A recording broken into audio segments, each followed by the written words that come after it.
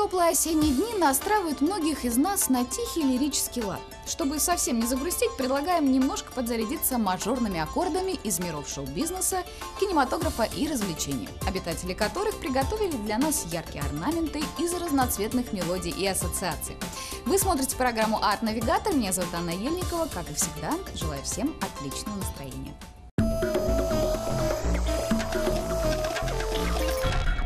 На прошедших выходных в американском бокс-офисе наблюдались сплошные аномалии, что, казалось бы, вполне свойственно Голливуду, любящему выкидывать все новые и новые финты. Но даже при такой закалке кинопрокату удалось вновь удивить зрителя, на этот раз не только количеством, но и качеством своих нескончаемых сюрпризов. Посмотрим на тройку фильмов-лидеров американского кинопроката.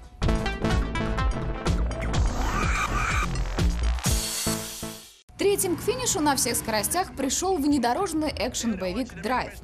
Эта лента является работой датского режиссера Николаса Виндинга Рефна, взявшего в этом году в Каннах приз за лучшую режиссерскую работу. История, которую умело повествует режиссер, не сказать, чтобы ужасно новая, но подана поистине фантастически. Этот высокооктавный боевик представляет собой смесь высокого искусства, кровавых сцен и драмы. В водительском кресле актер Райан Гослинг, который вполне лихо и убедительно крутит баранку, уходя от полиции после совершения преступления. Сцены погони по Лос-Анджелесу действительно захватывающие, особенно когда к ним присоединяется убойный саундтрек Клиффа Мартинеса, сочетающийся с безупречным звуковым дизайном. Местами даже возникает впечатление, будто перед нами жесткий боевик 80-х годов. На самом деле лента действительно необычная, ибо она выбрала в себя все самое лучшее кинематографа 21 века. Умело замешав стили, Виндин Крефен задействовал в своей ленте дизайн Стэнли Кубрика, причудливые оттенки фильмов Дэвида Линча и насилие Кроненберга, доказав, что его неоднозначное творчество заслуживает отдельного пристального внимания. Закинув в багажник 11 миллионов долларов, лента прикатила к третьему месту. For the rest of your life, you're going to be looking over your shoulder.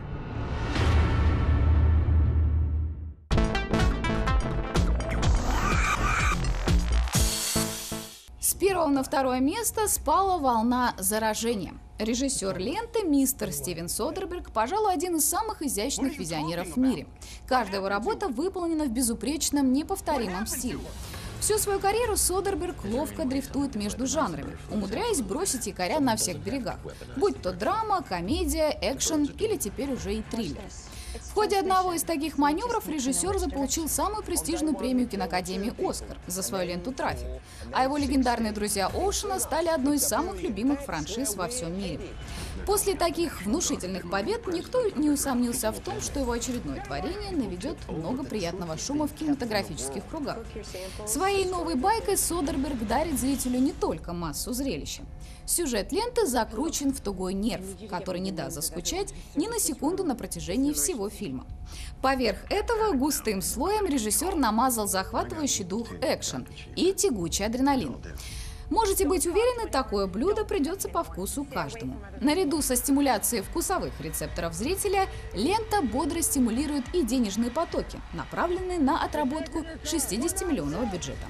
Вторые выходные принесли триллеру 14 миллионов долларов, подняв общую кассу до отметки 44 миллиона. Второе место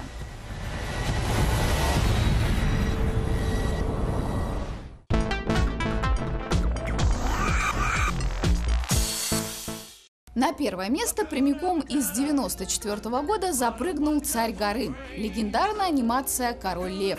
Анимационная классика Диснея доказала свое превосходство и популярность, которая сопровождает эту ленту на протяжении уже 17 лет. Конвертировав ее в формат 3D, создатели перезапустили культовый мультфильм «Ни одного поколения» на большие экраны. И результат превзошел все ожидания. В итоге мультфильм 17-летней давности дал фору трем вполне ожидаемым премьерам уикенда.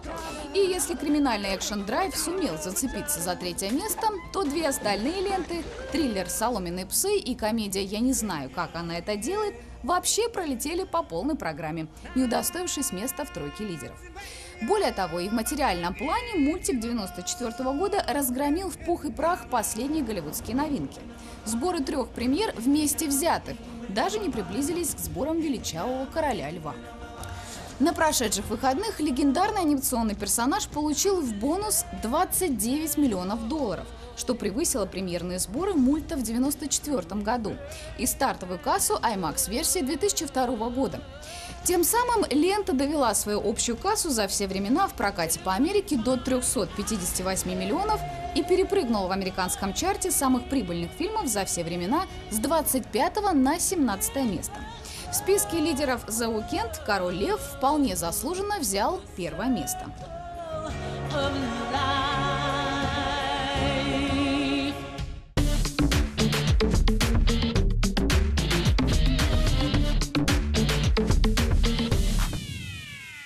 Геймеры всего мира разминаются в преддверии очередного матча FIFA 12, открывающего новый виртуальный сезон в мире знаменитого футбольного симулятора.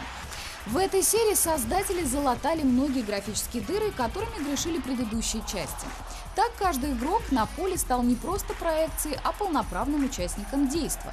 И теперь виртуальные спортсмены не смогут случайно проходить сквозь тела других игроков что, безусловно, добавляет матчу реалистичности. Более того, введена новая система столкновений, которая обеспечит соблюдение реальных законов физики при любом взаимодействии игроков на поле. Таким образом, вы ощутите все нюансы отбора мяча и силовой борьбы, так же, как и реальные футболисты. Более сложным стало и поведение футболистов. Они могут финтить и обходить противника на дриблинге. Благодаря грамотному тактическому взаимодействию и синхронности в новой части серии резко повысится эффективность командной обороны. Спортсмены будут принимать более осмысленные решения, в полной мере используя свои лучшие качества и мастерство товарищей по команде. В то же самое время они будут учитывать и изъяны в игре футболистов противника. Таким образом, атакующие действия строятся на командном взаимодействии, индивидуальном мастерстве нападающих и взломе обороны соперника в самых слабых местах. Решающий матч FIFA 12 состоится 27 сентября.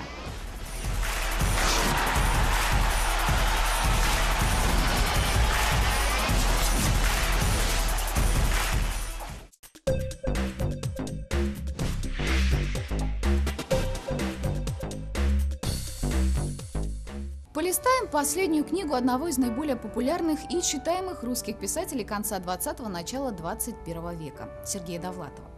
Еще в 1989 году он отобрал 15 своих лучших рассказов для юбилейного сборника. Через год писателю должно было исполниться 50 лет. Жизнь распорядилась иначе. Довлатов не дожил до этого момента и не увидел составленную им книгу, вышедшую из печати. Это издание приурочено к юбилею писателя, которому бы в этом году исполнилось 70 лет.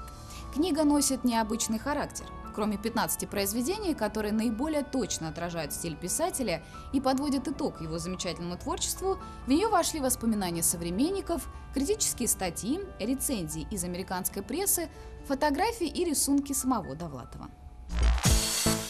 Впервые на русском языке. Роман «Лауреат Букеровской премии» 2010 года. Вопрос Финклера в авторстве известного писателя и колумниста Говарда Джейкобсона. Роман «Вопрос Финклера» – это история о мужской дружбе и трагических потерях, о чудодейственной силе заблуждения и сбывающемся через десятилетия предсказаний цыганки. Эта книга стала первой откровенной юмористической историей, получившей Букера за всю историю премию. Говард Джейкобсон является не только известным британским писателем, но и популярным телеведущим и лауреатом премии имени Вудхауса, присуждаемой за лучшее юмористическое произведение. Если пролистать календарь назад и проанализировать былые события, то можно подметить, что большинство самых значительных и сокровенных идей посетило умы гениальных людей именно в сентябре. Чем объясняется этот феномен, судить сложно, но в связи с этим необычным воздействием советуем побольше предаваться созерцанию и поискам ответов на вечные вопросы мироздания. Желаю вам приобщения к братству мудрых и посвященных и вместе с тем, безусловно, хороших выходных. Мы увидимся ровно через неделю на канале RTVI. Будьте здоровы и до встречи!